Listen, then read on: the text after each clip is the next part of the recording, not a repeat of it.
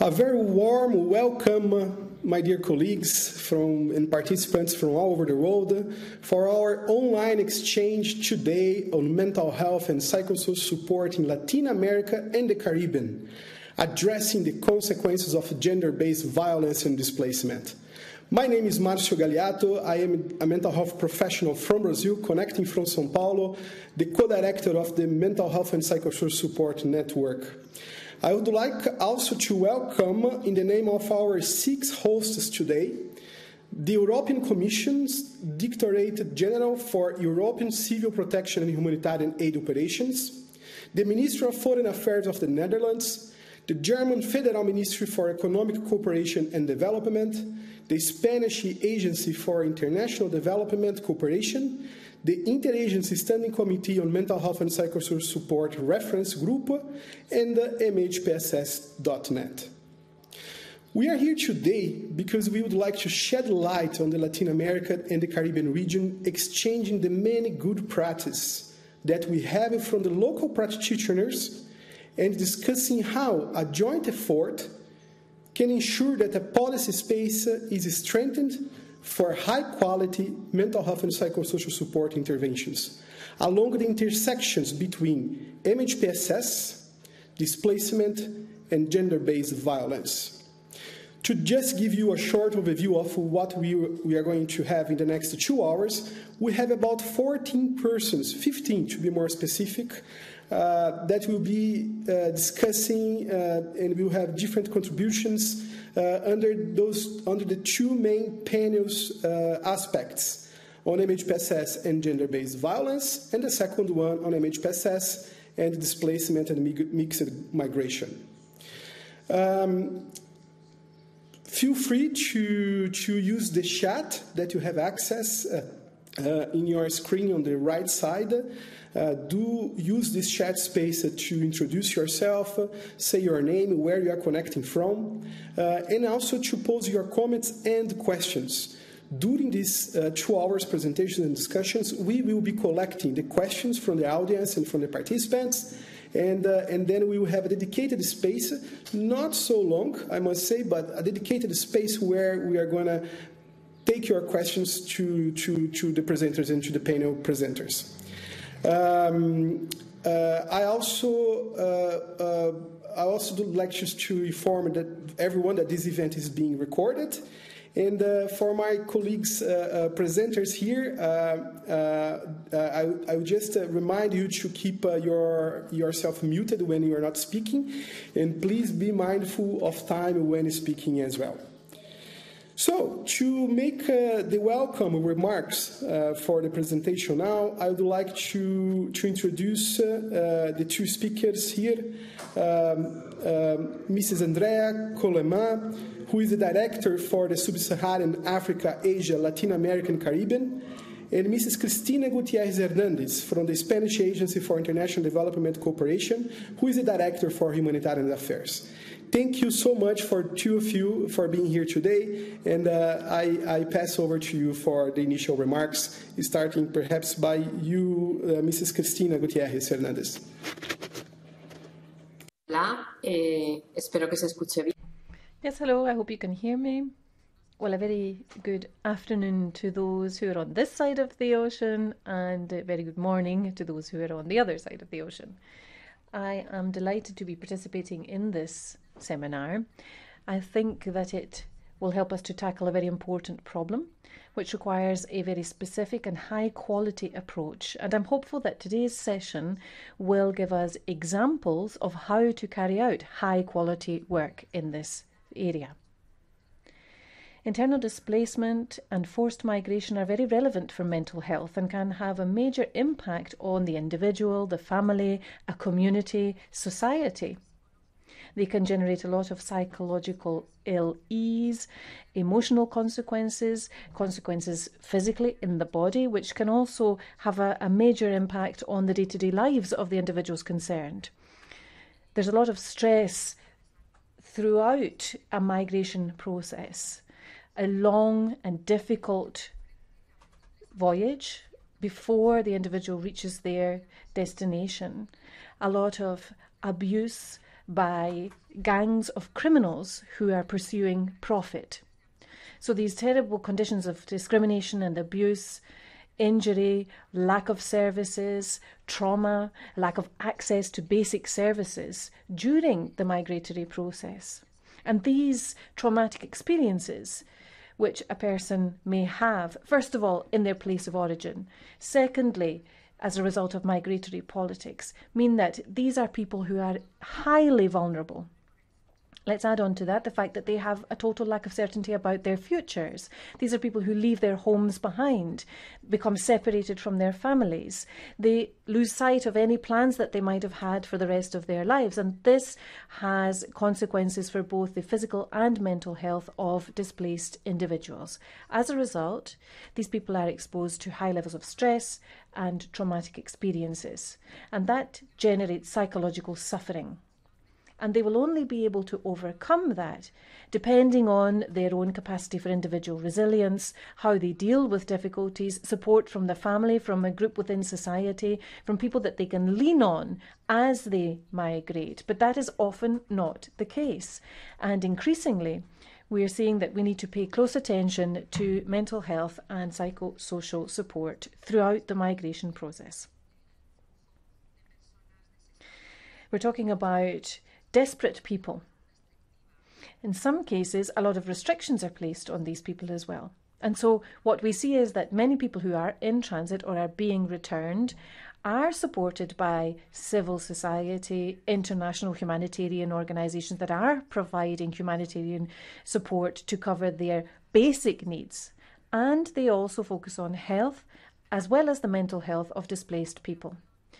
The Spanish Agency for Inter- International Cooperation does include mental health and psych- psychosocial support as part of its work, in particular, as part of its humanitarian work, where that is linked to displacement and gender based violence in the Latin American and Caribbean regions. We have a strategy, it's been in place, it's in place for 2022 2023 and will run for five years, gives priority to physical and socio-economic injury to those who are displaced, and also focuses on, focuses on victims of gender based violence, including sexual violence. It hones in, in particular, on women and children from refugee families, people who are in transit and are being returned, those from the LGBTQI community, and other vulnerable people the Spanish presidency just got off the ground uh, three days ago, we will be presiding the working group in the council called COHAFA, which focuses on humanitarian action and food security. And as part of its presidency, Spain will be focusing in particular on the gender aspect of humanitarian aid, looking at prevention, how we respond to problems, eradicating gender based violence in a whole host of different situations, including armed conflict and displacement, uh, refugee situations as well. And we'll be focusing on MHPSS as part of that overall strategy of best practices which we would like to bring to the table for a proper debate during our six month presidency. So, loads of challenges, many obstacles that we face as part of this topic. What we need is a multidisciplinary approach. MHPSS should be part and parcel of an overall response uh, coming from different sectors, looking at uh, protection, health, education as well. In addition to that, MHPSS is part of all three different pillars of our network.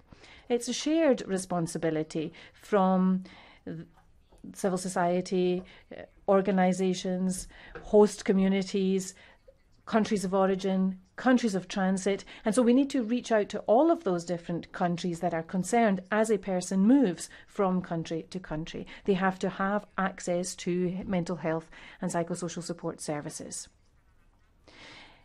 These services also have to bear in mind the linguistic and cultural and societal diversity of the people they are dealing with and be sensitive to that. So we need to make sure that they, we build capacity, that there are resources to deal with the specific problems that they face. Particularly, we need to support local organisations. We hope that this seminar will give us some answers to some of the challenges that I've set out for you and will certainly enable us all to learn from one another and improve the level of quality of the strategies that we need. Thank you. Thank you so much, uh, Mrs. Cristina Gutierrez, for, for the, your kind contributions on, on this opening remark. And now I pass uh, the, the word for you, Mrs. Andrea Koulaimah. Thank you very much for being here today. About now? Yes. Yes, no. Okay. Excellent. Um, well, I was thanking uh, Dr. Gagliato for his introduction and thanking also Cristina for presenting very eloquently the psychological and mental impact of humanitarian uh, crisis on on on, uh, on, on the well-being of individuals. Um, and as well, I would like to uh, to wish you all the best for this upcoming presidency uh, of the of the of the European Union. Um, dear participants, dear colleagues, dear partners, it is a pleasure to join you in this webinar on mental health and psycho- psychosocial support in Latin America and the Caribbean. Uh, the European Commission's Director General for um, uh, for humanitarian uh, assistance, in short, DG ECHO, is very happy to convene this event together with the Ministry of Foreign Affairs of the Netherlands, the German Federal Ministry for Economic Cooperation and Development, the Spanish Agency for International Development Cooperation, as well as the uh, Interagency Standing Committee, MHPSS Reference Group, as well as MHPSS.net. Um, this is an expression of Team Europe in uh, the way we are looking at this uh, at this program. Uh, it started with Germany and the Netherlands. I'm very pleased that now the it's enlarged also to uh, to Spain, and it builds on a common endeavor which started over year ago when we launched the first webinar of this series, which explored MHPSS in the Middle East. So why is it important? Why is this series important? It is important because MHPSS is an essential dimension of individual health and social resilience, and I think Cristina very much uh, uh, described what the kind, what kind of impact uh, would take place in, for example, situations of displacement. Um, in the wake of the COVID 19, MHPSS has fortunately received increasing attention, and that is something which is positive. Um, however, there's still a way to go to act uh, better and more collectively, uh, raising awareness, strengthening coordination in different contexts, increasing local capacity building, and sharing best practices. And uh, in an endeavor to share best practices, I would like to transmit to you the three main conclusions which were formulated during our past exchanges on MPA, MHPSS in the context of the MENA region. Um, there were three, uh, three main points. The first one was providing quality mental health and psychosocial support services for individuals and communities in line with international standards such as the minimum service package developed by the ES reference group. The second conclusion was acting along the entire humanitarian development peace nexus to support local capacity building and skills development and to support affected people to vision opportunities and to actually envisage their future. And the third uh, conclusion was conducting more research for evidence-based interventions and then implement uh, the results of that research in a coordinated uh, manner. For DG ECHO, MHPSS remains a priority across the geography. It isn't an integral part of our response to humanitarian crisis uh, worldwide. Um, in the past four years, uh, if I now look at uh, a focus more on Latin America, we have allocated um, over 100 million to support MHPSS activities globally. And out of that, almost 20 million were directed to Latin America and the Caribbean in response to major crises in Colombia, Venezuela, followed by Peru, Ecuador, Brazil, and others. Today, we will hear from our partners, experts, practitioners in the regions about the links between MHPSS, gender based violence, and displacement and discuss how services uh, that are local, accessible, culturally sensitive can be promoted. Because although it is a concern across the globe to have solid mental health and psychosocial support the details of it and the way it is implemented has to be adjusted to the realities of the affected populations as well as the context in which they are evolving. So today our discussion is very timely in view of upcoming events uh, which put uh, Latin America on our uh, on the agenda. Uh, for instance, the EU CELAC summit in July here in Brussels, the fifth Global Mental Health Summit in Argentina in October, and the Global Refugee Summit in December. As we know, people affected by conflict, violence, and displacement are amongst the most exposed to trauma, which ultimately affect their mental health and psychosocial well being in several ways. And unfortunately, the Latin American Caribbean region is one of the most disaster prone and violent regions in the world, marked by pervasive challenges such as gender based violence, armed conflict, and displacement. Our partners make sure to provide quality MHPSS to those in most vulnerable situations, such as migrants in internally displaced people, returnees, people with disabilities and their caregivers, indigenous populations, victims of trafficking and violence, including sexual and gender based violence. And they attempt to provide that quality response in a truly intersectional approach. For example, at the Colombian Venezuelan border, migrant populations, uh, Colombian IDPs, as well as returnees in host communities, are receiving support in terms of sexual and reproductive health, medication, and, and MHPSS.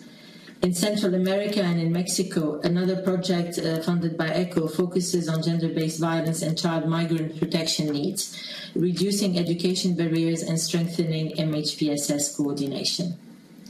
With this event today, we aim to strengthen the understanding and coordination about MHPSS needs and responses in the LAC region, increase the attention related to different contexts, and start a dialogue for joint action, bringing ever closer local, national, and international actors.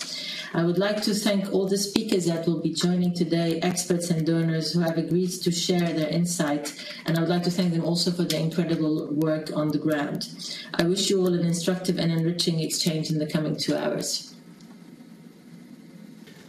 Thank you so much, uh, um, Mrs. Andrea, for, for these um, um, um opening remarks. Um, thank you both of you for, for, for welcoming this event, making this possible as well, fostering these discussions in the, in the Latin American Caribbean region, which I think uh, it has been such a, an important, uh, uh it is an important uh, um, event that should be taking place in, in our region.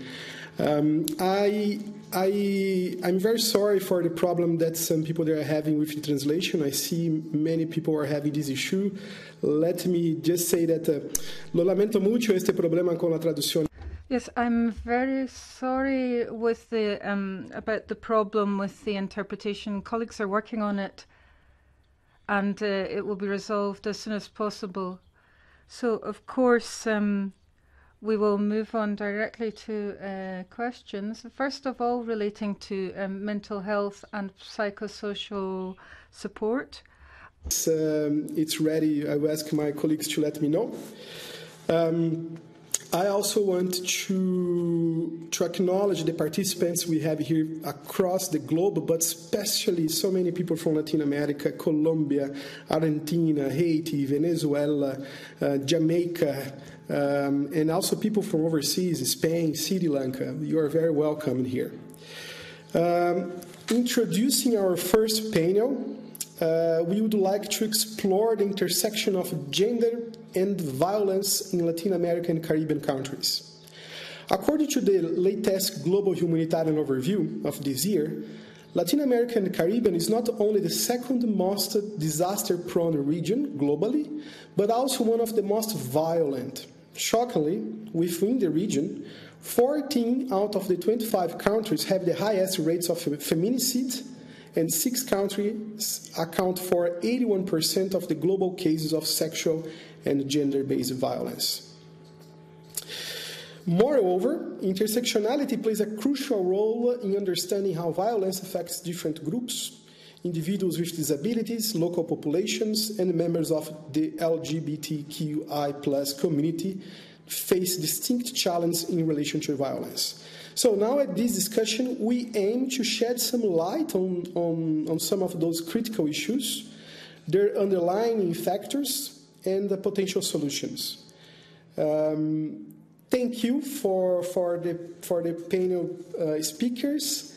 I, I'm happy to welcome uh, and introduce uh, the three of you. Um, Urban Aguilar Yepes from Tinta Violeta, uh, connecting from Venezuela.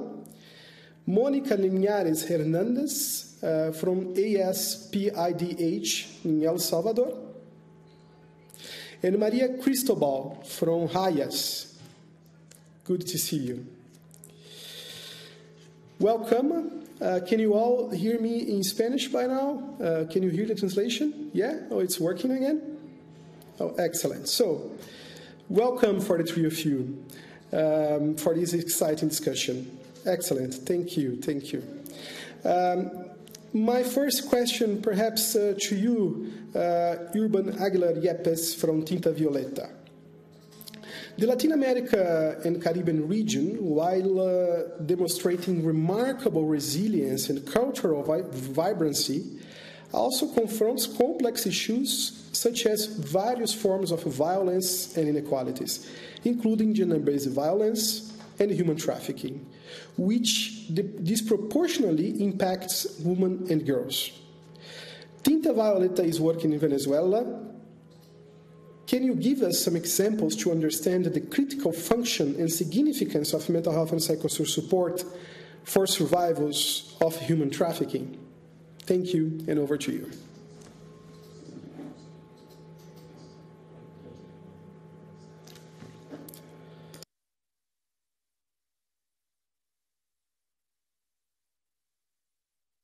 Microphone, please. Please turn on your mic. Okay. Gracias. Bien, bueno. Well, um, hello. Um, as uh, you've heard, I'm from Tinta Violeta in um, Venezuela. I'm a psychologist. Well, first of all, I'd like to uh, thank you for inviting us to this meeting, and uh, it's nice to um, be able to participate in this uh, virtually and say hello to all the people present um, virtually. Now, my um, contribution will be looking at uh, the uh, stru the structural problems which um, create issues for gender violence in Venezuela. They're very similar to those faced in all countries of the world. In particular, civil society and institutions who are responsible for legislating um, should be paying attention to and, and penalising um, uh, and taking responsibility to prevent gender based violence, and yet there are cultural elements and subjective elements which um, mean that this violence is continuing without huge changes. And we're seeing um, huge uh, cases of um, gender based violence happening every day. The statistics um, ask call upon us to sort of pay attention to this, and they're growing every day. The statistical, uh, the statistics which are obtained by the centralized institutions are not in the public domain, so we have to get them from um, private institutions. There's also a socio-economic crisis which our country is facing, and that has mean, meant that people are more vulnerable. Um, it's increased frustration and violence. And we've also seen a, a lot of qualified people leaving the country and leaving uh, public service. Um, human trafficking is a, a, problem beyond the theory. Um, we're seeing that uh, people from our own country are being um, uh, kidnapped within the country and also outside. And we're seeing victims of trafficking from all over. Unfortunately, the sound is breaking up. There are two main uh, geographic areas where we see um, uh, victims being taken from the national um, territory. This is Sucre, Delta Amacuro, and Anzoátegui. Um, they go towards the um, islands of the Caribbean, particularly Trinidad and uh, Tobago. And there are also um, uh, vessels for prostitution and trafficking in international waters. And then the second destination is Apure, Táchira, and people heading to Colombia. Women, girls, boys, and adolescents um, who are trafficked came, come above all from Caracas, Miranda, Anzoátegui, and Bolivar. Um, we have seen that people are um, uh, caught up in this by being offered um, jobs that don't exist. Sometimes they're um, robbed, they're captured. Um, sometimes um, women leave on of their own accord to look for better socioeconomic conditions. Sometimes uh, men supposedly fall in love with them and offer them uh, a life in another country and then sell them to the traffickers are people in very precarious socioeconomic um, conditions. Many of them end up um, in Colombia as prostitutes where they're often um, captured and um, turned into uh, slaves. There are also um, many uh, who go to Chile, Peru, and Spain. And Spain is the gateway to Europe.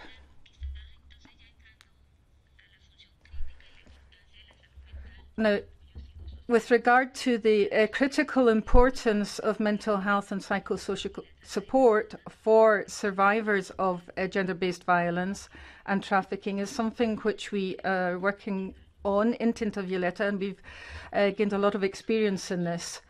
We take an integral approach and we talk about loving care um, our critical perspective is um, feminist. We look at human rights. Um, it's generational. We look at disability, ethnicity, um, gender diversity, um, class diversity, and we take a loving approach.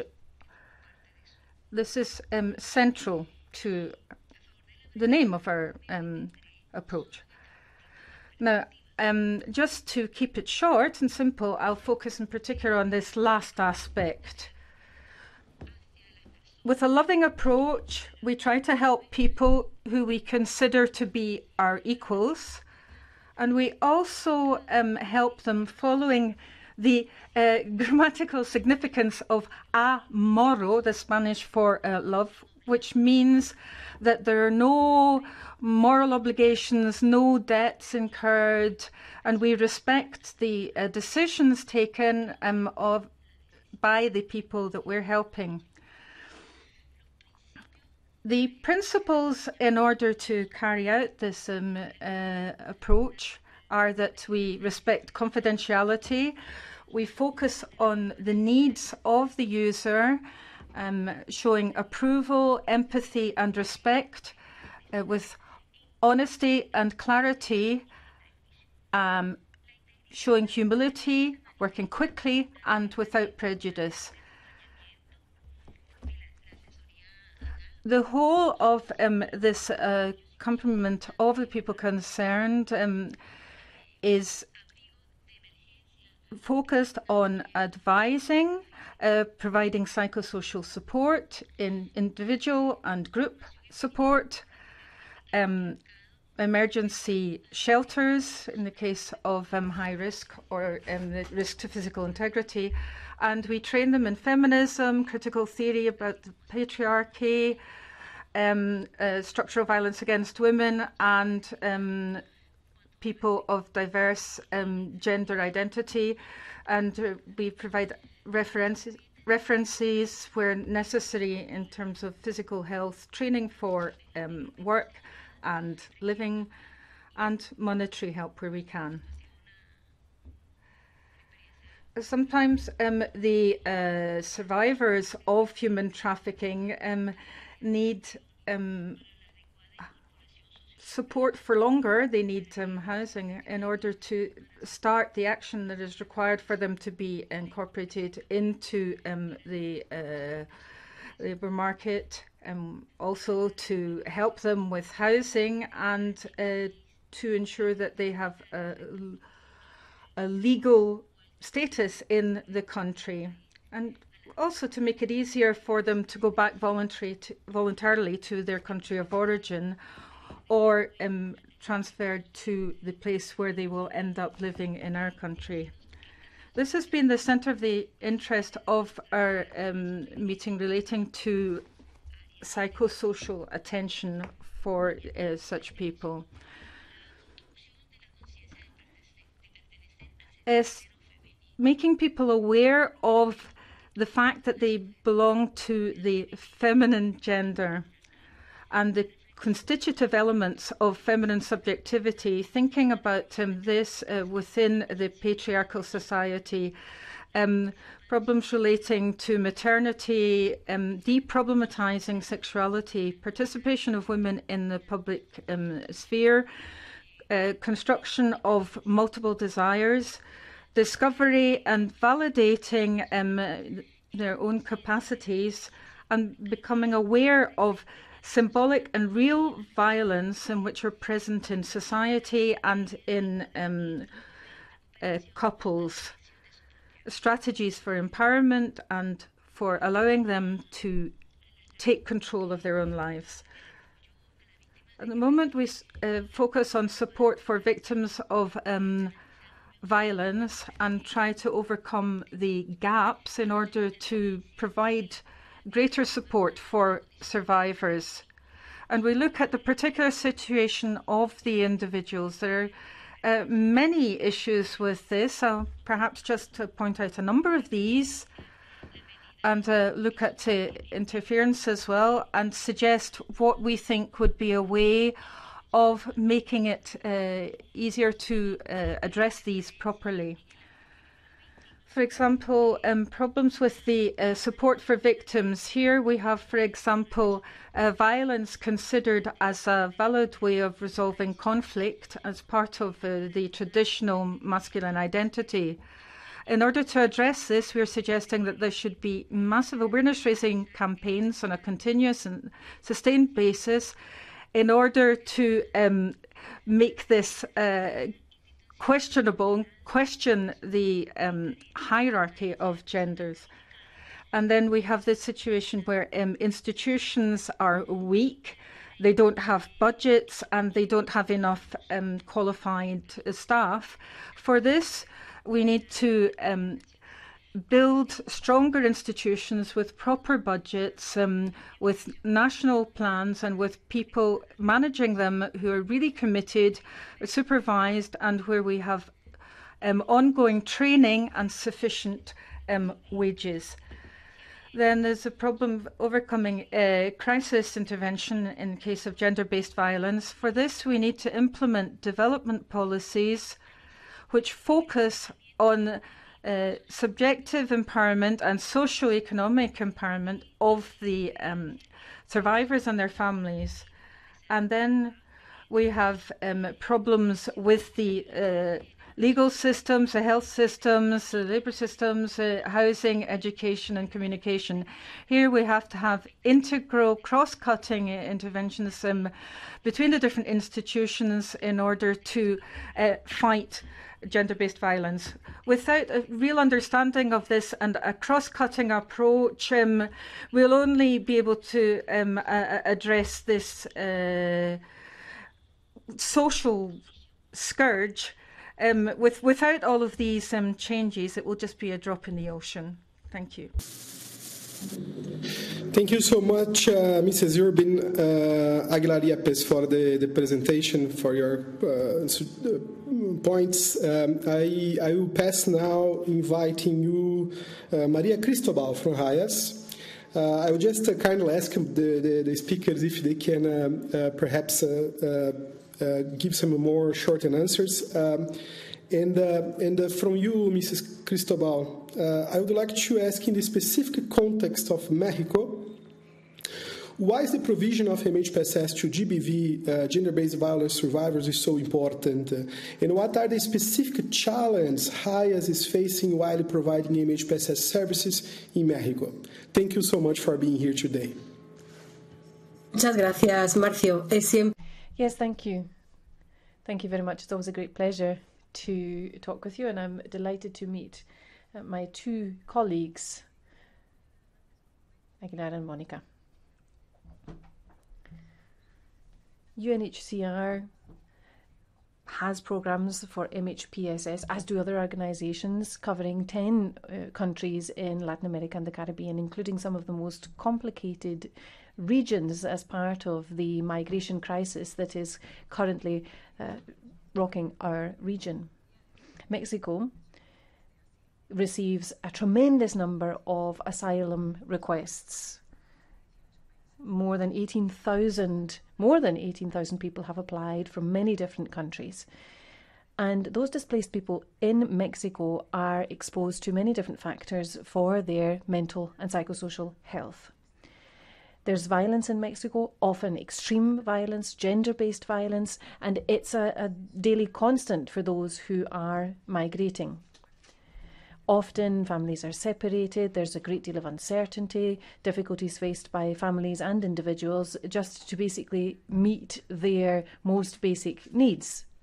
In addition to that, uncertainty about their migration status. Sometimes they are held for a long time in detention centres in inhumane conditions.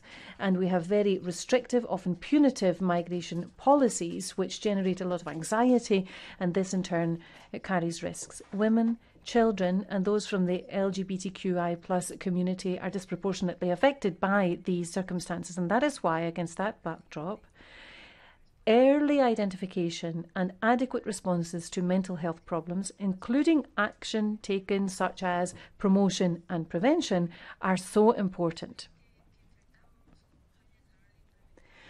IS was talking about the challenges of implementing MHPSS programs in Mexico. These are manifold. I'd like to focus in on three. First of all, the US and its recent policy on Title 42 and also the disinformation that has been widespread. This is causing chaos, despair, a lot of rumours. People are taking ill informed decisions, and this is pushing people to make choices that are highly risky and are exposing them to high levels of risk. Secondly, a lack of specialist services, and this is particularly important for those who have severe mental health conditions, and those who are survivors of gender based violence are part of that group. In 2022, Mexico updated its general health law to guarantee universal access to community mental health services, expressly referring to migrants and victims of gender based violence, amongst others. But implementing those new rules in practice is taking a long time. It's very slow, and there are major obstacles to people actually getting access to those services in the field. Those can be economic barriers, administrative barriers, whether or not the health services have enough human resources or resources available. And there's also a problem of information and trust for those people who are displaced, they don't always have the right level of trust to actually reach out to health services. And finally, in Mexico specifically, there is a tremendous amount of work that still needs to be done in terms of taking account of MHPSS across the board as a multidisciplinary approach. If we consider people who are in transit and, in particular, survivors of GBV, they are offered services, but sometimes this actually makes their situation worse. They lose uh, the sense of having control over what they're doing. It can expose them to um, increased vulnerability. Thank you.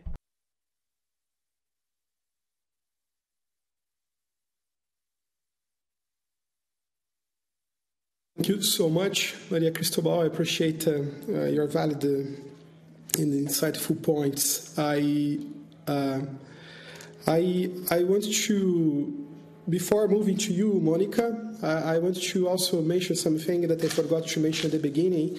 We have here a very special um, um, moment, which is uh, uh, this whole conversation that is a graphic recorder Teresa Martinez Aledo. Uh, so many greetings to you, Teresa. She's uh, here from the very beginning, uh, taking, um, listening to all of you and making, transforming all this to the graphic uh, design.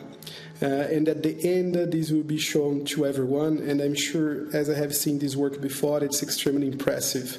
It's a translation of all our insightful points um, into a visual graphic. Thank you, uh, Teresa Martinez, for doing so.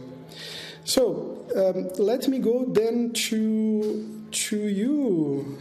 Uh, welcome you, uh, Mrs. Monica Linares Hernandez uh, from ASPIDH, uh, working specifically with the LGBTIQI plus community in El Salvador. May I ask you what are the specific needs um, from the mental health and psychosocial support perspective that the community you are working with uh, uh, have uh, and how you are addressing them? Thank you very much.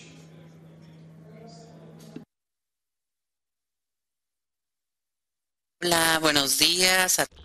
Yes, hello, um, uh, good afternoon, everyone. Um, I come from ASPIDH in El Salvador. And this um, is an association that works for um, human rights of LGBTQI plus people, particularly trans um, uh, individuals. Now, um, I want to talk about why um, this is such an important tool for trans individuals and particularly for LGBTQI um, uh, people. In El Salvador, um, gender based violence um, isn't even recognized in the case of trans women because there's a certain amount of machism, um, um, machism um, which uh, spoke about as well.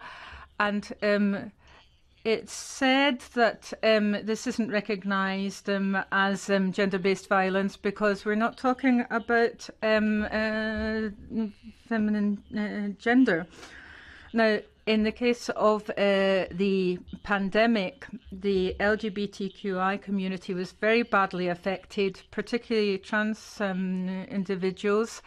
And it's not possible for them to uh, live without psychosocial and mental health support, which give them the opportunity to talk about um, the issues and um, address the issues which they faced during the uh, pandemic, not just um, uh, violence within the family, because uh, these individuals had to stay within their houses all the time because of lockdown. And uh, during the pandemic and following the pandemic, the problems are persisting because many of these um, LGBT um, I, individuals um, don't have access to uh, employment. Um, it's not possible for them to, to open their own businesses, etc. These were issues before the pandemic, but now, for example, we um, see that there, uh, the institutions for um, psychosocial support are, are, looking into this, are looking at legal advice and uh, in order to provide information on how to identify um, those um, who've uh, assaulting them, uh, various other issues of health nature, etc. And then there's a very political topic as well, which is uh, um, interesting in this context. Uh, which caused a, a lot of uh, violence for families and um, trans individuals because um, the were victims of uh, the uh, structures, criminal structures in the country, and uh, the system which we have at the moment is seeing a huge increase in violence perpetrated by members of uh, organized criminal groups, and uh, often as well, it's um, uh, official groups in uniform who are supposed to be looking after people in general, but who are perpetrating um, uh, violence here. And um, the uh, uh LGBT um, I um, community and um, trans individuals are victims of this, and we also see forced um, uh, migration um, affecting these people. We've heard from Maria Cristobal the number of people that are being um, uh, uh, welcomed by their country. Many of them come from El Salvador. And we also have people in El Salvador who are coming from other countries uh, in Latin America who are also facing other types of violence, but who uh, come now to El Salvador. They consider that it's a, a country which is viable for asking for shelter. But at the same time, we have LGBTQI um, people from our country who are um, uh, trying to leave because they are uh, subject uh, to violence, including from um, institutions, and um, they're also victims of extortion. And um, this is uh, something which is linked to members of um, criminal gangs. So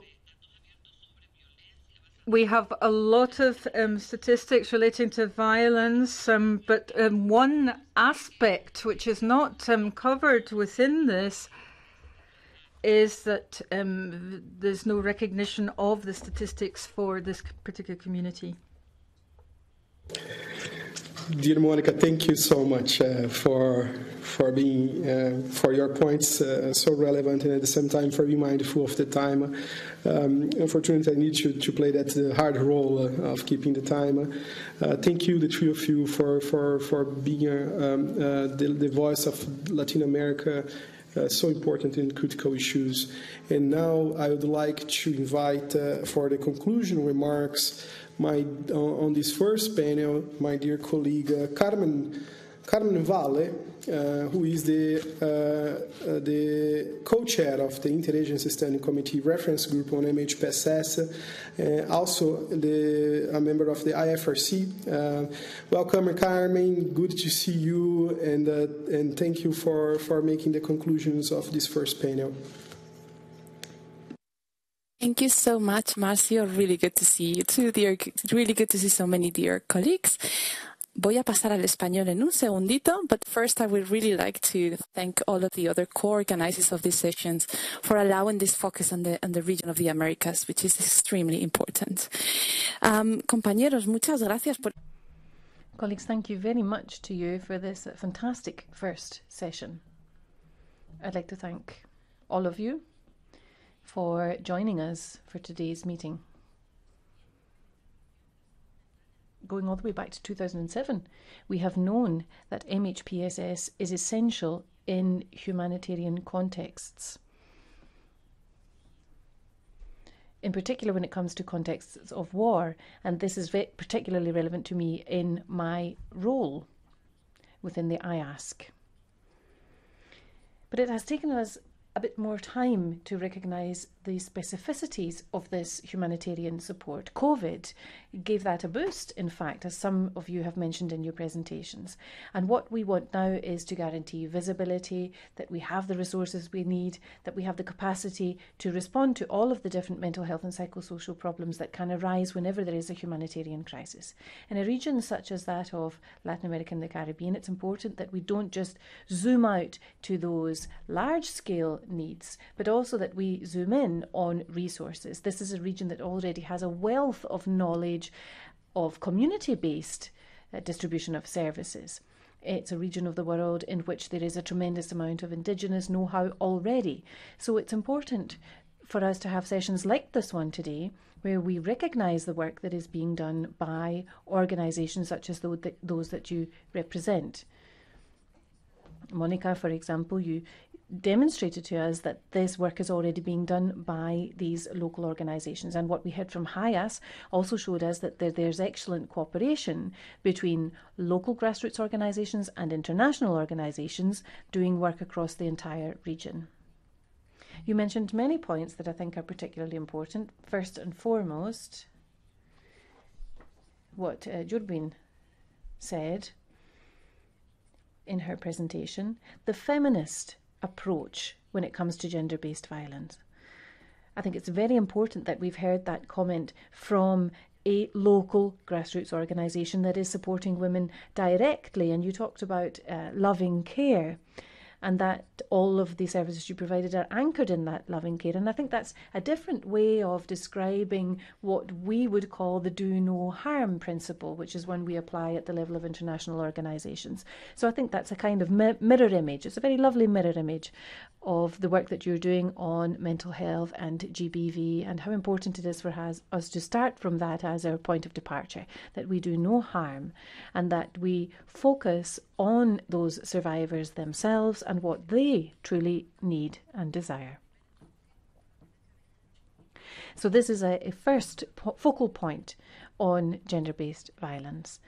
And another point that uh, Jurben made, which I think is very important, is she encouraged us to think about MHPSS not just as a direct response to well-being needs or welfare needs for those who are in a situation of here specifically gender-based violence but also something that can actually facilitate let's say a return to work integration into society and a whole host of other things. So mental health and psychosocial support isn't just an answer to something it's also a springboard which enables people to access other important areas of their life.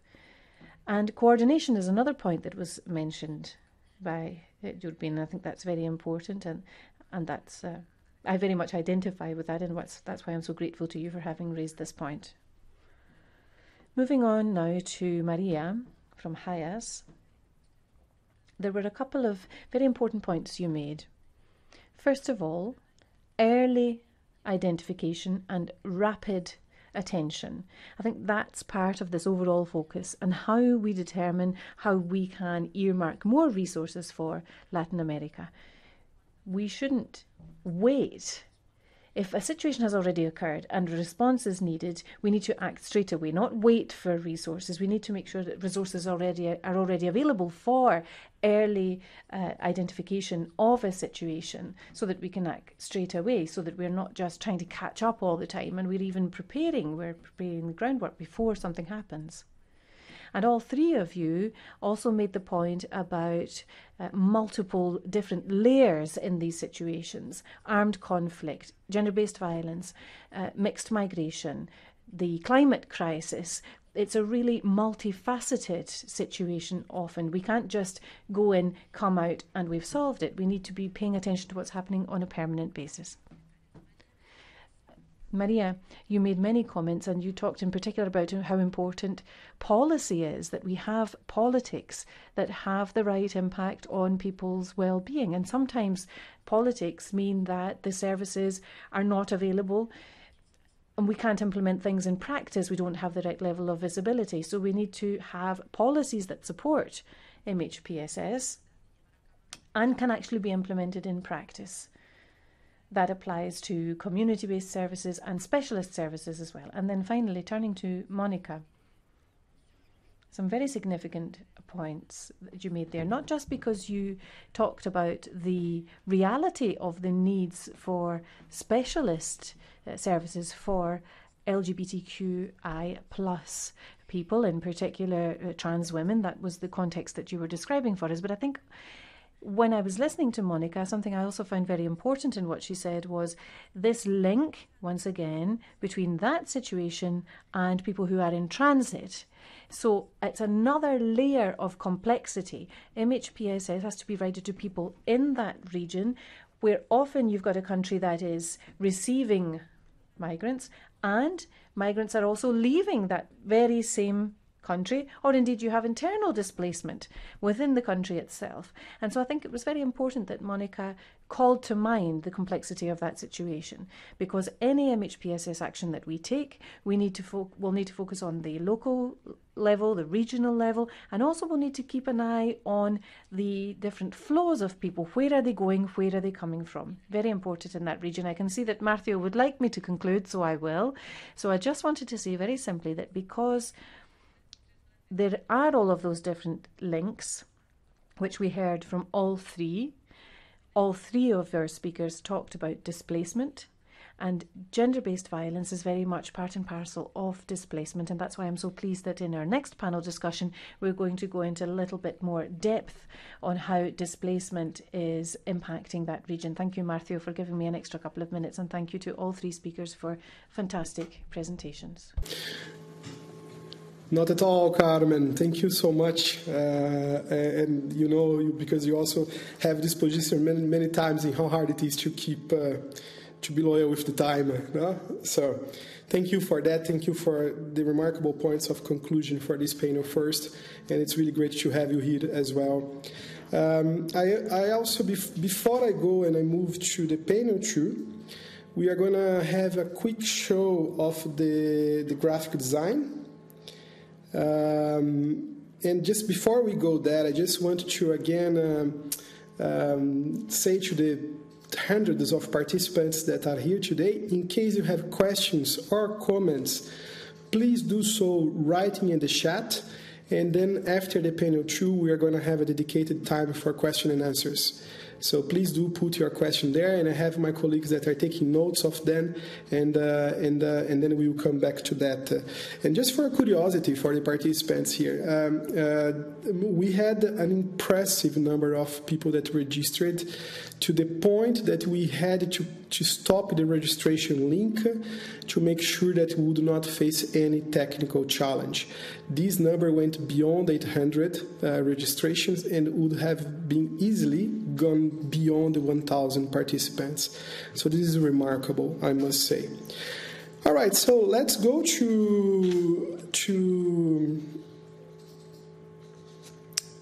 to Teresa Martinez uh, to briefly present her first version of the graphic recording. As you can see, uh, um, I don't uh, even dare to kind of try to explain anything at the moment. Uh, then later on, we are going to have a, a short uh, uh, explanation from, from Teresa, uh, but this is just to show what is happening here behind the scenes. Uh, and so quickly and so impressive, put all those words, translate them into all those, um, all those easy to learn and to capture and to be made even more insightful visual uh, representation. Teresa, thank you so much. We are going to come back uh, to this straight after our second uh, panel. So, moving then to our second panel, mental health and psychosocial support in the context of displacement and mixed migration. Uh, we, I would like to delve into the diverse aspects of migration and displacement, acknowledging that in the recent years, the flow of migrants and displaced persons through South America, as well as the Caribbean, has significantly escalated. The increase is attributed to the, to the security, the political, social, and economic deterioration in several countries within the region.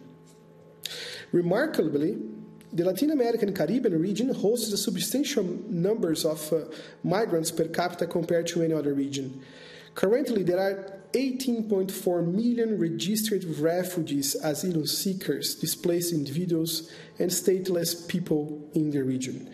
And that's where we are going, that's the context we are going to now debate and have a conversation and learn from our speakers. We have here uh, four speakers from three different organizations. I want to very warmly uh, again welcome each of you, uh, Glenny Sanchez and uh, Jesus Raldo Fernandez from Handicap International, connecting from Colombia. It's really exciting to see my neighbors here uh, um, uh, in this event. I also would like to welcome Ícaro Lavoisier da Silva Marcolino from Brazil, UNICEF Brasil. muito bom te ver aqui, Ícaro. Uh, and also Consuelo, Consuelo Castaneda de Ayala, advisor at GIZ, uh, uh, regional program Alternativas, based in Honduras, for El Salvador and Guatemala as well. Welcome for the four of you. It's really great to have you here. Uh, and uh, if I can start uh, the second panel, inviting, asking you, Consuelo, uh, based on your work in Honduras, Guatemala, and El Salvador, could you tell us about driving reasons of the displacement?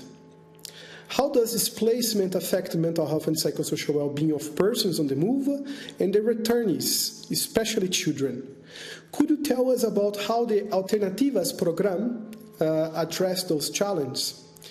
And uh, Consuelo, just before you answer this question, I want to really to reinforce to my four uh, dear colleagues here to be a little bit mindful about the time. Huh? Uh, and thank you very much, Consuelo, for being here. Over to you. Muchas gracias a ustedes por la invitación. Yes, thank you very much for inviting me. It's a real pleasure for me to be here. Well, perhaps um, I could just uh, talk about um, various um, reasons for um, displacement. Um, looking particularly at El Salvador, Guatemala, and Honduras. These are countries which, at the same time, are countries of transit, of uh, origin, and also receive um, uh, migrants. And uh, the uh, Meta uh, group looks at um, young people and uh, their um, families. We have um, identified as some of the main factors and the main reasons for um, displacement the conditions of uh, living in the particular country and opportunities for employment um, the, the people concerned um, are often in a very poor situation. Um, uh, can be in despair. Often they don't have um, their basic needs met in terms of health, housing, education, care. And um, there's also a, a lot of exclusion um, for example, from the education system, um, uh, there are often difficulties um, in schooling, difficulty in um, uh, having access to um, uh, jobs, and um, there can be family impact as well. You can have the disintegration of families, you can have um, violence within the family, and uh, uh, cases where the dynamics within the family are causing a lot of distress and, and um, where um, the employment situation can also have a serious impact. And the conditions um, which develop here can lead to irregular migration. Um, so we have to think often in terms of um, uh, structures, um, looking, for example, at um, uh, violence, at uh, criminal gangs, and uh, often the issue of um, gender-based violence as well. Uh, we have, for example, often forced recruitment of men to um, participate in uh, gangs, and in the case of women, there's often um, sexual uh, abuse, some um, sexual violence, etc. And um, the development plan for um, children, um, girls, boys, and adolescents uh, tries to address this type of violence.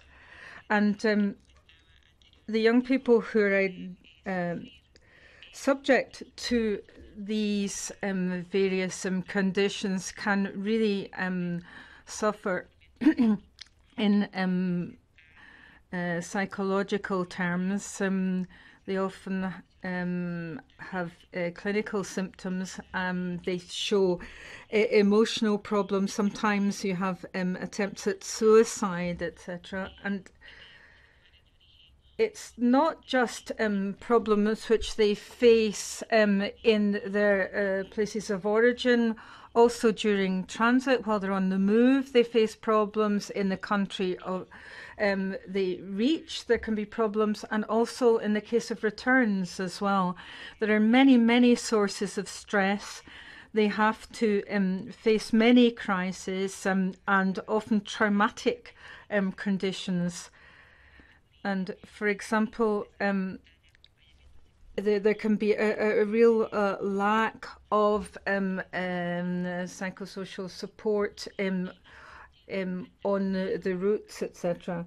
So, in this context, Alternativas has tried to uh, come up with an uh, inclusive approach for psychosocial support, looking for educational opportunities or support for work and also ensuring a multi-layer um, support in um, regional and uh, national terms. We try, for example, to provide opportunities um, for um, people to um, uh, recover and to um, reincorporate, reintegrate in families and communities. Thank you so much, Consuelo, uh, for for for your points um, in bringing this reality to our attention um, directly from this perspective in Honduras, Guatemala, and El Salvador. And now I I I, I invite you, um, Glenny, Glenny Sanchez and um, and uh, Jesus Geraldo, if you can share the the answer together. Um, uh, would be great to be looking at uh, Handicap International, knowing that it's working in Colombia and Peru with people on the move from different nationalities, as well as people with disabilities affected by armed conflict in Colombia.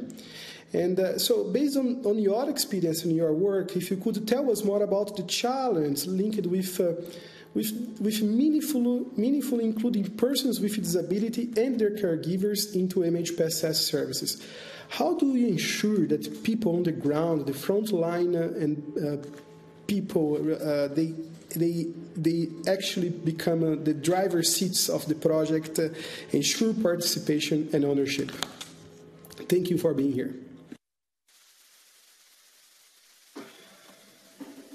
Muy buenos días. Muchas gracias por la invitación.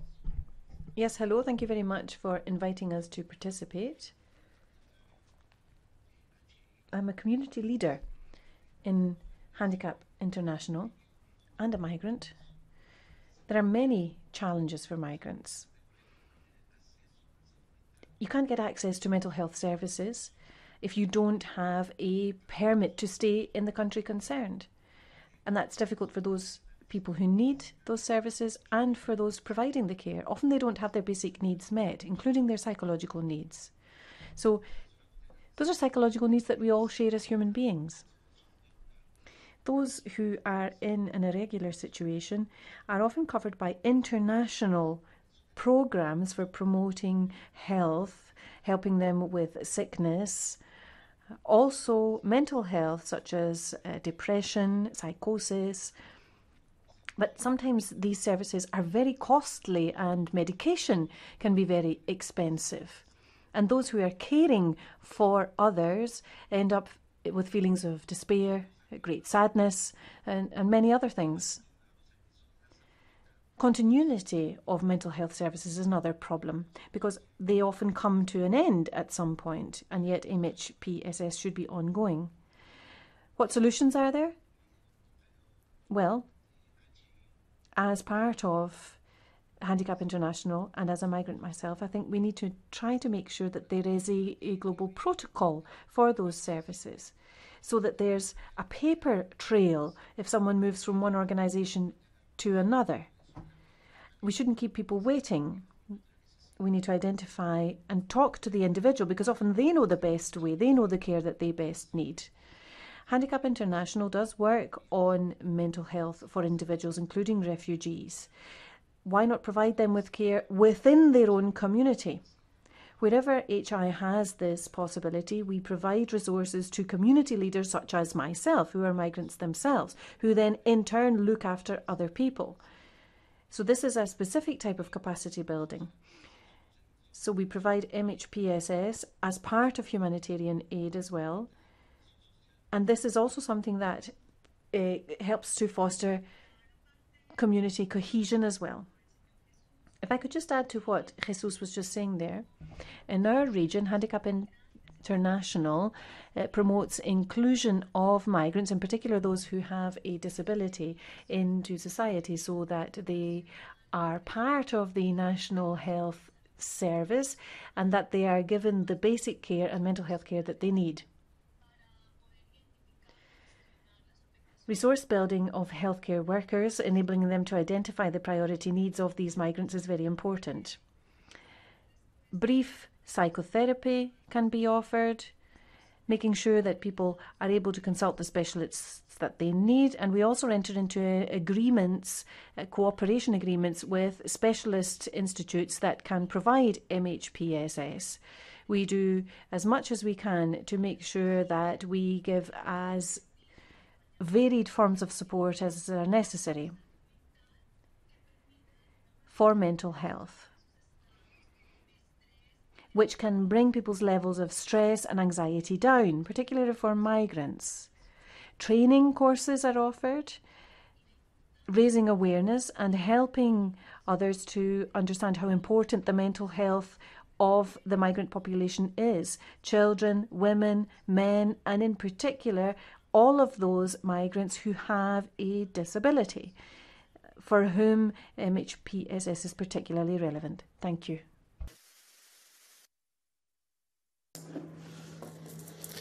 Thank you so much, Jesus and, uh, and uh, Glenys, for, for your contribution. And let me now come uh, to you, Icaro. Um, Icaro from UNICEF Brazil. While speaking about Latin America, it's also important to refer to the challenge faced by the original people, the native people, which often face multiple barriers to access services. What are the specific challenges in ensuring cultural, appropriate, and sensitive mental health and sexual support for this particular community? Welcome, and it's really great to have you here. Bem-vindo. Olá, buenos dias. É, meu nome é Ícaro Lavoisier, sou indígena. De... Yes, hello. Um, I'm um, uh, from the indigenous population Paraíba, uh, Brazil. I um, work for uh, UNICEF um, in promoting um, human rights and uh, support for children and adolescents uh, across the world. With regard to the specific challenges in order to um, guarantee the appropriate um, psychosocial um, and uh, mental health um, services, we have to take into account uh, linguistic and cultural aspects. Um, uh, indigenous um, young people in Venezuela have difficulty in communicating because of uh, language issues and cultural issues, and this um, exacerbates their feeling of isolation and um, is a further um, challenge. Another issue is the presence of uh, xenophobia. This can have um, a negative impact on self esteem and mental health. And in the um, healthy development of these um, children and young people. Um, like previous speakers, we would have a number of recommendations as well, specifically on how to provide mental health services, um, including um, those to um, Indigenous peoples. Um, there could be um, policies followed in order to improve the health of Indigenous people and um, it should be possible to provide um, support locally um, in rural areas. We have, for example, an example of um, provision of such services in Roraima. We have a document about that which um, was presented by uh, the elders of the indigenous um, people, which is basically one which uh, addresses um, the, the questions and um, looks at them in a differentiated way. There's an initial proposal, a working proposal, whereby the um, state should allow um, the indigenous people to um, uh, have differentiated um, mental health support. Uh, another uh, point uh, we have um, linguistic and cultural sensitivities when it comes to mental health and psychosocial situation of young people. We have to provide appropriate situations and um, uh, provision of services addressing the mental health needs of Indigenous peoples. We have to promote social integration and uh, recognise the rights of uh, children and others in the Indigenous um, communities. We have, for example, um, uh, emergency situations in a number of countries where we, you have um, migratory movements, we have a special uh, space in various countries called Super uh, uh, Amigos. We have a special space um, where um, children can um, obtain um, psychosocial support, which is culturally sensitive. And I think this is really um, very helpful in um, providing um, uh, successful uh, provision of um, work under our uh, services.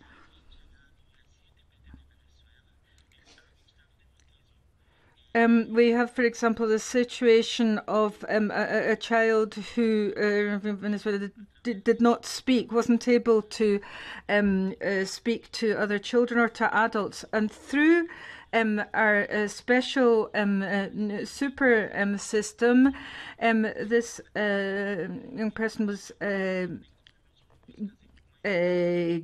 given some activities and and it was possible for them to participate and um, we involved the leaders of the indigenous communities and this made it easier for the, the, the child to start to uh, communicate, he was able to talk to other um, children as well.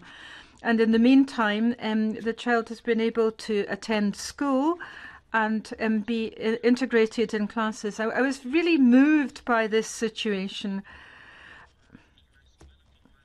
and uh, this is something which um, uh, can also uh, be extended to uh, schools in the schools. So I'd just like to conclude by talking about the importance of um, culture and spirituality for um, Indigenous um, communities. Traditional practices um, can really be a source of strength um, for um, uh, psychosocial support. Um, thank you for the invitation. Thank you very much. Icaro, thank you so much, and I hope you are going to come back uh, uh, to this final point of view. Mental health is about rights. Mental health is about uh, fighting exclusion, fighting poverty. So it's uh, thank you for so much for bringing those, uh, highlighting those points here. We still have a few minutes, so are you dare to come back with quick uh, questions if you, the three of you, the four of you can? I would appreciate that. Before we come with the conclusions of Dr. Othello from the Caribbean region, which we'll be very excited to be introducing very shortly as well. Uh, maybe coming back to to you, Glennie Sanchez and Jesus, uh, on on on your experience, how the work of um, uh, how the work um, of humanity and inclusion can actually um, can actually uh, help into the contrib- can contribute into the existing systems and the national capacity, institutional capacities um, on mental health and psychosocial support. So, what are your lessons and your tips in this regard?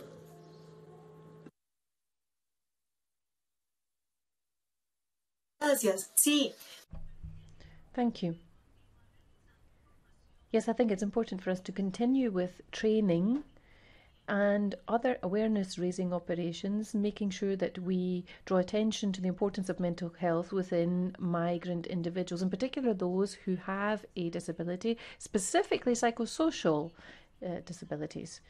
And so that we just demystify some beliefs that persist when it comes to disability making sure that people with disabilities participate, that they are part and parcel of the different uh, fora that take decisions, that they're in those spaces, and that as humanitarian organisations, we ourselves continue to participate in those spaces. Uh, closer to Health is one example where joint decisions are taken together with the disabled person. It's important also to do project planning, planning of activities together with the disabled person so that they really are suited to their needs also as migrants. Marcio, there was a question in the chat for us. So with your permission, I will just touch on psychosocial services being provided to people who are only in the country or the region for a very short period of time yes, we are making sure that those who provide services to those who are in transit moving from one country to another have the tools that they need, need in order to support those individuals emotionally and perhaps connect them up with people in other countries of our regions so that there's continuity. So if a process is initiated, let's say in Peru or Colombia, or Venezuela uh, or Bolivia, then the person is on the move, that that is continued in the other country they go to. Thank you. Thank you so much, Glennie, for, for, for this, and Jesus as well. Um, and uh, from your side, uh, Consuelo, would you like to bring uh, um, your perspective? Uh, would you like to react to this same question? How do we link it with existing national and institutional local capacities when doing MHPSS interventions?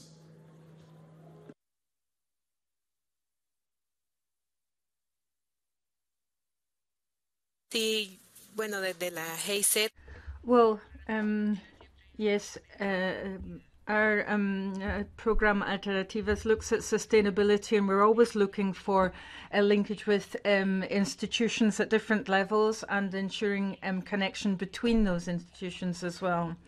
And it it's necessary in order to establish um, the links between these various levels that um, you um, uh, are clear about um, the um, benefit of what you're providing. Um, it has to be something which um, will allow uh, the various levels to um, uh, connect and interconnect and uh, create synergy. And as we've seen, there's a lot. Um, it's a lot to do with um, building together. We have to build up services together, because um, we provide support, but the institutions um, also um, maintain these um, systems and programs. So we have to clarify the possibilities. It's essential that we build together with institutions, we have to ensure that what we do is a contribution. And uh, within this process, it's important that um, people are empowered and they, they feel part of it. Um, we have um, really focused very much on the four um, uh, comments.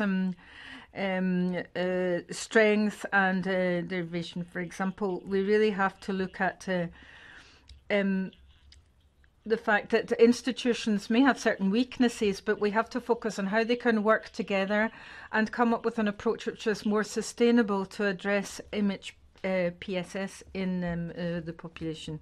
Thank you. Thank you so much, uh Consuelo. And, uh, and then if uh, we could start finishing this panel by inviting you, Kai Icaro. I really would like to continue the last point you actually started. I'm a mental health professional from Brazil, so I was trained under the, the, the different schools of mental health. Um, I have worked overseas so many times, and I'm very much interested to hear from your experience uh, what you you started concluding in your initial presentation when it comes to mental health and culture and spirituality at the center of it, more or less. If you can continue this telling us specific recommendations that you have in this regard, we would very much appreciate it. Eh, cuanto a las cuestiones de trabajo. In terms of the work that is done as part of this UNICEF project. It's a special space. We try to be very sensitive, and it's mental health work that we're doing for Indigenous refugee children in particular.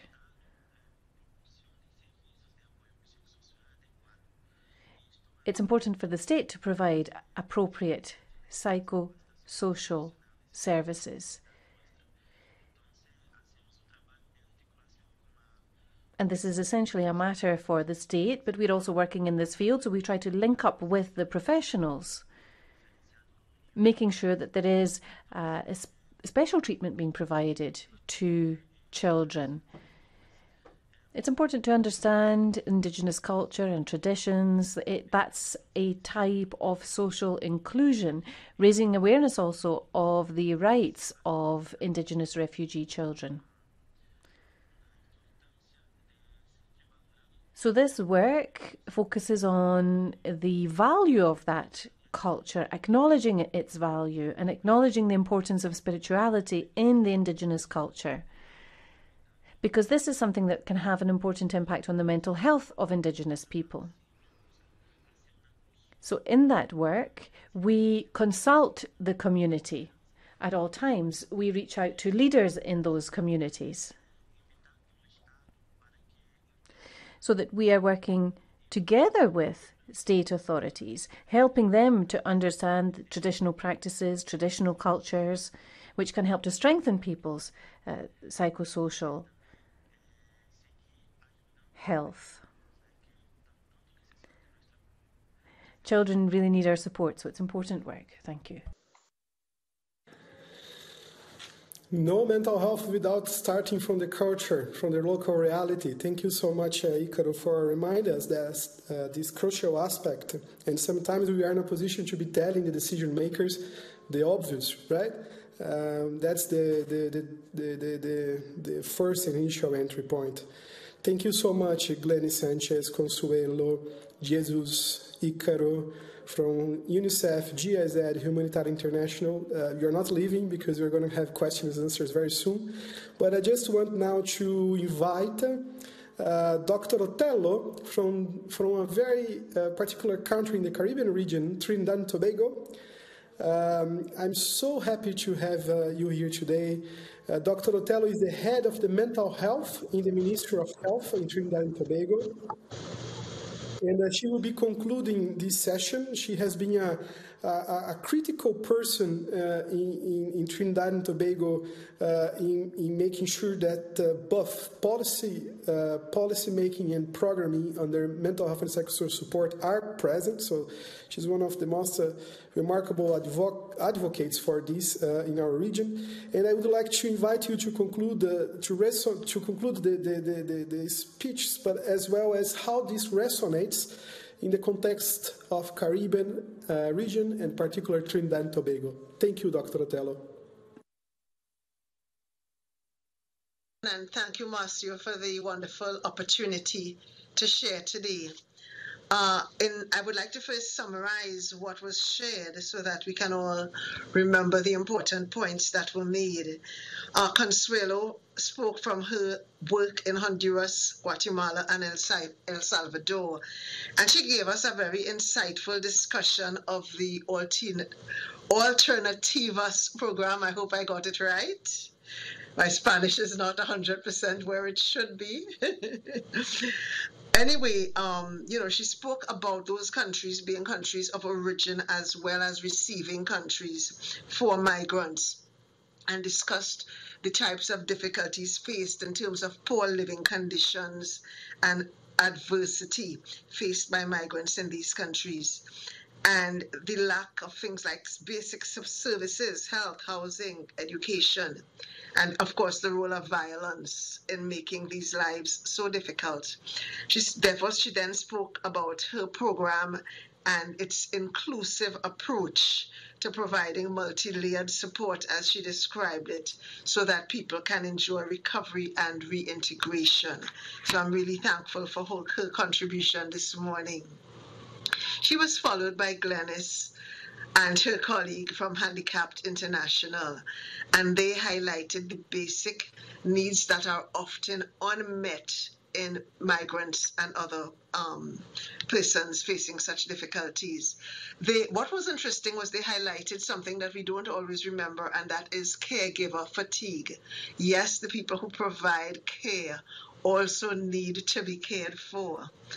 Uh, they spoke about the importance of migrants having documents, identification, and things like that to make their passage through different countries more difficult and their stay in countries where they seek amnesty less difficult. And of course, the need for mental health and psychosocial support within their communities, promoting inclusion and providing care. And then we had Icaro from UNICEF, a very wonderful presentation highlighting the importance of focusing on indigenous peoples and in particular children in indigenous communities. And he was very, very uh, emphatic about the role of speaking to the elders, not assuming that we know what they need or how to provide it, but speaking to indigenous elders and getting their feedback. So we're in a better position to provide that liaison between state agencies and indigenous community and indigenous, indigenous persons, particularly indigenous refugee children. So this was a really good presentation this morning. And um, I was also asked to speak a little bit about the Caribbean perspective. And in the Caribbean, we have a number of non-governmental organizations that do provide support and assistance to migrants who find themselves within the various Caribbean territories. In Trinidad and Tobago, for instance, we have the Living Waters Community, a Roman Catholic non-governmental organization that provides tremendous support. They have bilingual language speakers who assist with um, persons who do not speak English, English, which is the first language in Trinidad and Tobago. And then there are other organizations such as the Trinidad and Tobago Red Cross who also provide such services. Um, to tie in with the previous presentation, we also have a number of non-governmental organizations that provide support to persons who are victims of intimate partner violence or other forms of violence and a number of helplines are available. There's a National Domestic Violence Helpline, and there there is other there are other helplines, including one that is actually provided by the Trinidad and Tobago Police Service. They have a victim and witness support unit, which provides support to both victims and witnesses of violence. So thank you for the opportunity to share today, and I hope I have been helpful. Thank you so much, Dr. Othello, for uh, the remarkable conclusions for this panel too. Um, and uh, stay still with us because I think there is one uh, interesting question here that uh, would probably come, uh, uh, would be quite helpful to have your, your inputs as well. Um, now we are coming let me just be sure that, yes, we are coming to the Q&A session. Um, thank you for those that have uh, uh, put their questions in the chat. My colleagues have uh, have uh, selected, curated some of them and put here, and I will be inviting, unfortunately, uh, we have space just for uh, a couple of questions. Um, I don't know if I can invite all my colleagues from the two panels uh, to come on board now. Turn your cameras on, um, and uh, we can have a quick uh, overview of everyone, and uh, you, I can address the questions to the different panels. Uh, there is one particular question if it's possible to that was made by Cristina Finocchiaro um, uh, to Tinta Violeta, um, to Mrs. Urban. Uh, just want to make sure that she she's able to hear me and see me and she's around.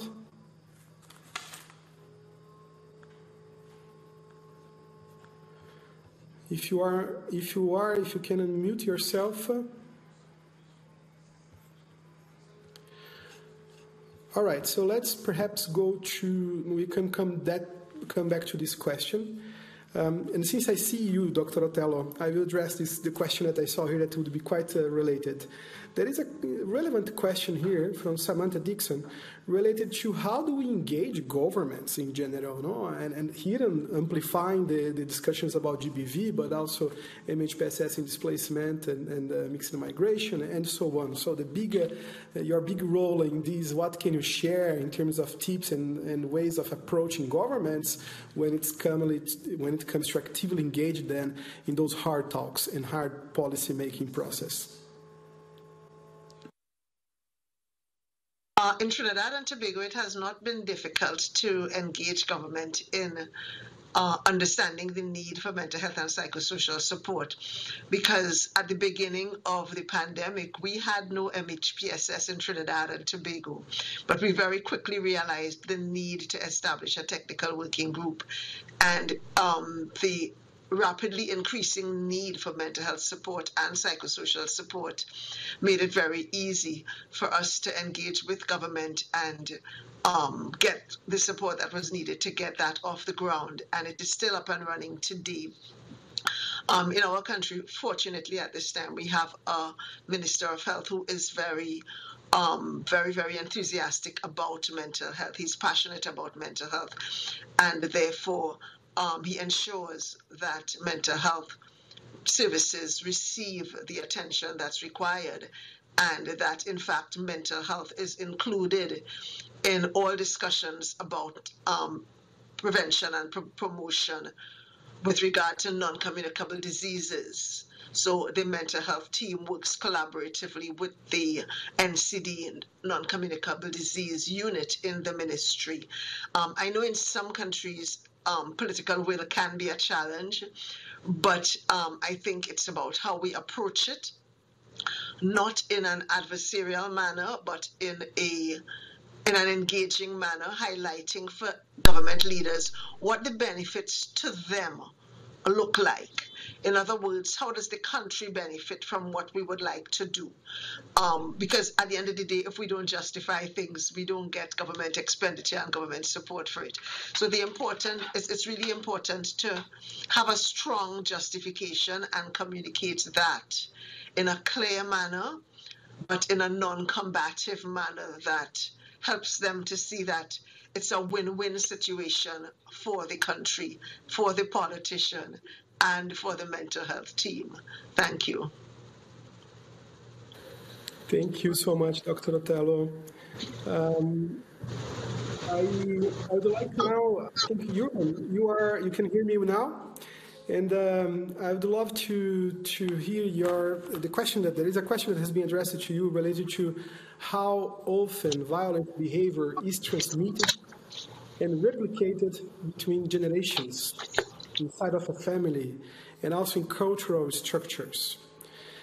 Do you have uh, any insights or lessons that uh, or examples or ideas that, that work on interrupting these transmissions of violence and what can you share about uh, this understanding of violence as something that is transmitted across cultures and even families as well and how to address and, and, and, uh, and how to address those issues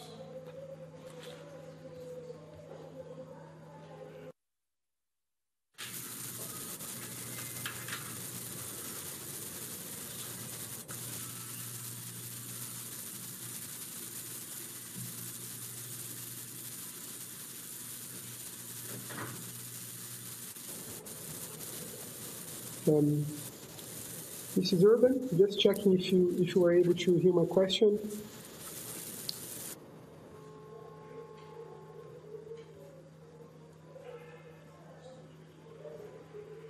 I'm, I'm not sure if you're muted. You sound muted here for me. Ahora? Yes. You can, yes, we can hear now. That's a difficult one to uh, answer. We're talking about centuries of um, patriarchal culture across the, the globe, uh, really. And how can you um, interrupt the circle there? Um, it's complex. It requires a, a complex approach. So it, it um, starts in the uh, early years uh, of life, um, education, um, gender uh, identification. Um, we have to educate um, children at school, at primary school, secondary, um, through communication, through the media, and all public policy has to raise awareness um, of um, the different types of um, identity in the society. And um, Uh, the validation of violence is a, a, an even more difficult problem. Um, and this is something which applies at all levels, not just the national one. So it's really um, very uh, difficult because um, it's been possible to have a violence perpetrated for centuries because of this mentality. Thank you. Thank you so much, uh, Urban. Let me now uh, invite uh, Icaro. Icaro, can you hear me? Yes, great, fantastic. I think uh, excellent. Uh, a question here, um, and perhaps uh, if we still have time, I'll ask Maria to also comment on it. it. Is a question related to how how do we approach, uh, what are you experiencing how to approach the discussion about gender-based violence uh, in indigenous communities or the, the, the native uh, people?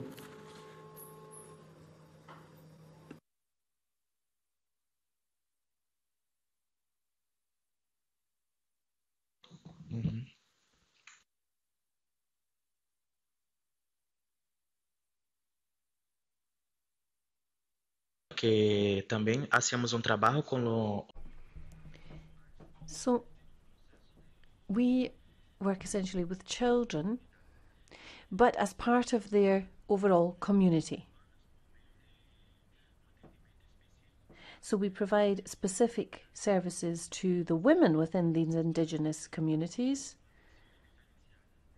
and giving them differentiated treatment, listening to them when they talk to us about their culture and their traditions, so that we can really support these women and the girls within those communities, in particular where there's a migratory context as well. The work that we do in promoting mental health looks at Indigenous and traditional practices which actually strengthen the role of women within their communities. What we essentially do is listen to them so that they bring their questions to us, so that we're really working together. And then we collect those questions and we take them to the state authorities so that they can give the, the right uh, attention to Indigenous women and girls within schools, within other governmental uh, bodies that offer psychosocial support. So we consult the people within the community itself to see what their specific needs are, and then we pass that information on to the professionals in the field. And I think that does uh, contribute. I hope I've answered your question. Thank you. Thank you, Icaro. Unfortunately, I just realized here that we are right on time, so I have to move on now to the to the concluding parts. Um, uh, just before I do so, um, thanking a lot the panelists of the, the, the two panels, uh, uh, brothers and sisters from Latin America and the Caribbean region. Um, it's a it's a very special moment as well for me as a person that has been in this field for so many years, uh, living especially in Asia and Africa and Middle East countries to be see to be able to witness and participate on, on such an uh, event uh, in our Latin America and Caribbean region, especially because we have a lot to share. We have a lot that uh, are, uh, are are are here to really speak up and bring up for for practice, experience, knowledge that we also have to share. Uh, and coming now to to starting the concluding remarks, I'm uh, I'm extremely happy here to welcome and to introduce Dr. Mariana Moreno.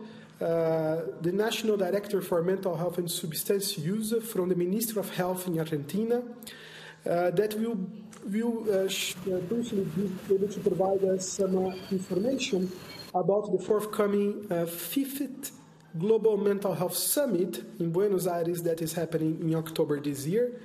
Uh, and she will be followed by Dr. Pablo de Greiff uh, from the New York University. He's the head of the Prevention Project and the Transitional Justice Program. Uh, he was the from 2012 to 2018 the UN Special rapporteur for the promotion of truth, justice, reparation, and guarantees of no recurrence. Um, Dr. Mariana Moreno, it's very nice to have you here. Welcome, and uh, over to you.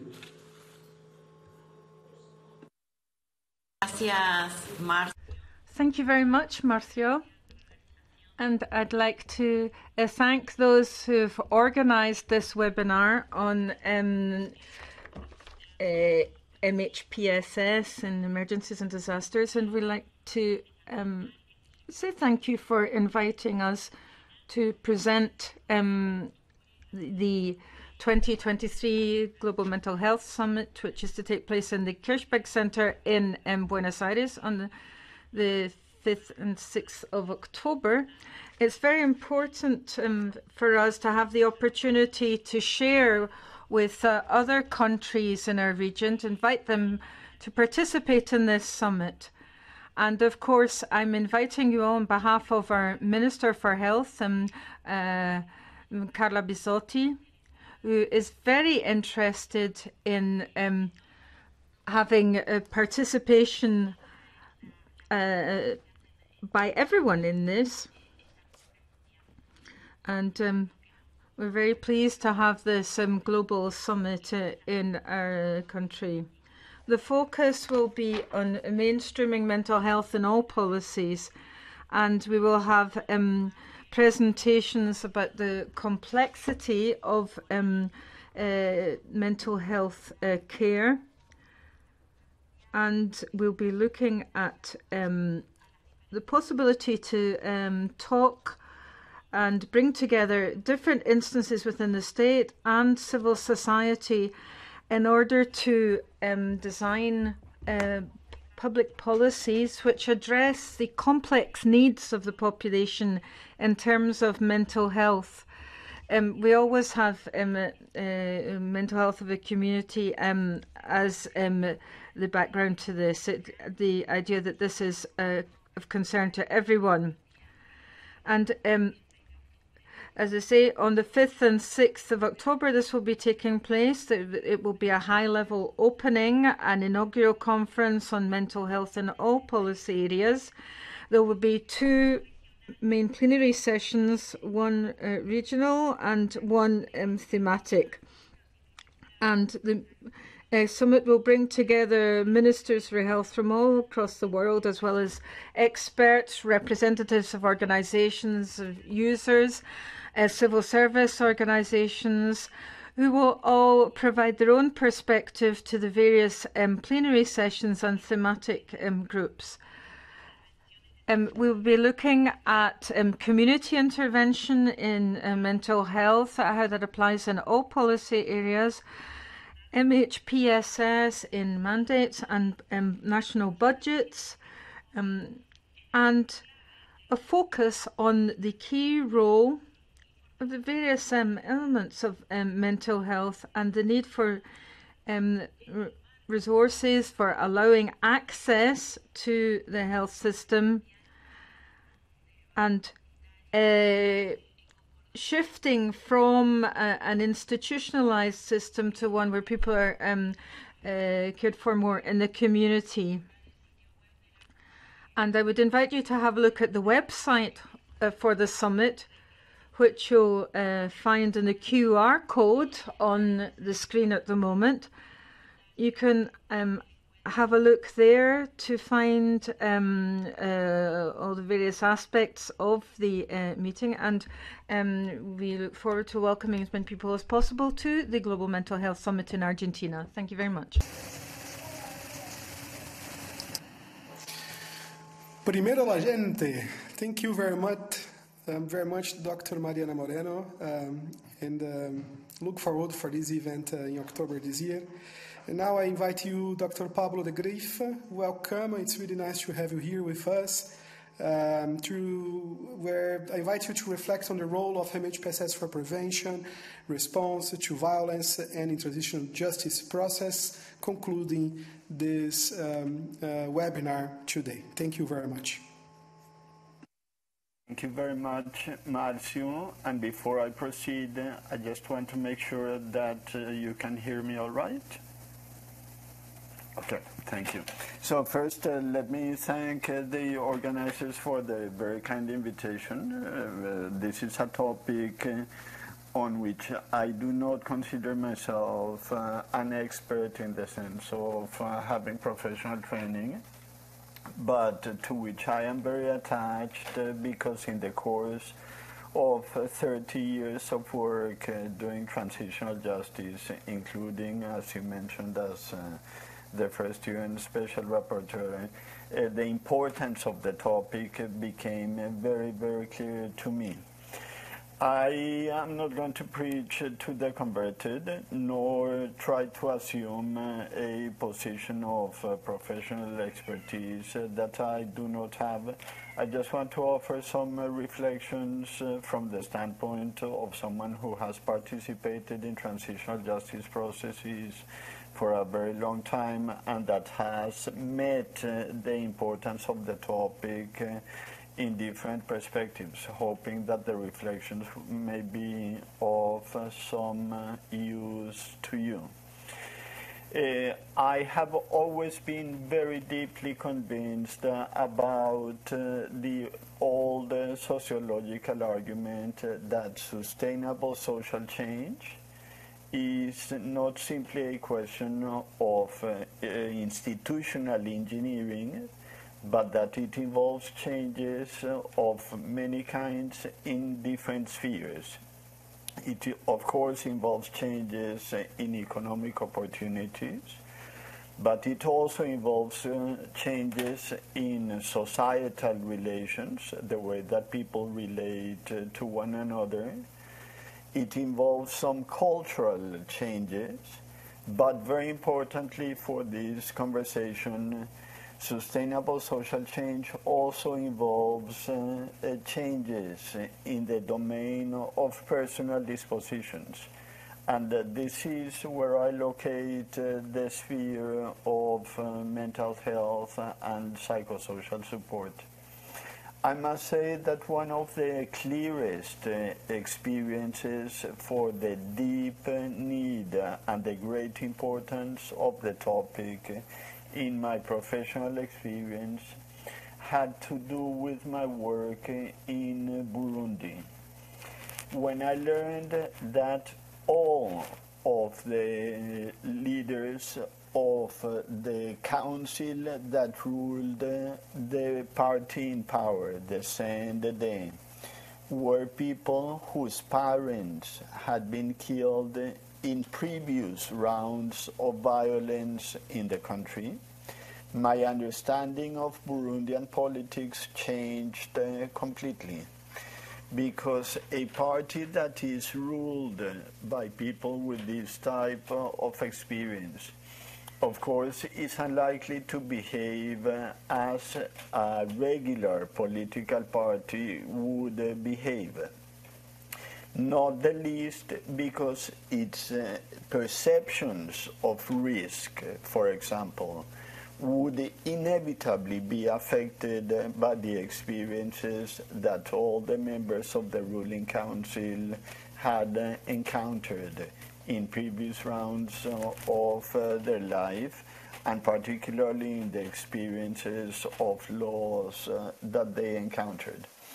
And therefore, this was a small window into an understanding of what it would take to make progress in Burundian politics a context in which, of course, at the time when I was uh, working there, there was very little mental health and psychosocial support on offer, and uh, one that leaders, political leaders, did not think of uh, standing in need of. So this is perhaps the greatest uh, uh, reflection that I can offer in the minute that I have uh, left.